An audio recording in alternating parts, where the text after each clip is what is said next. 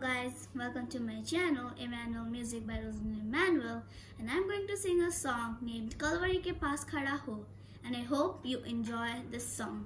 Let's get started.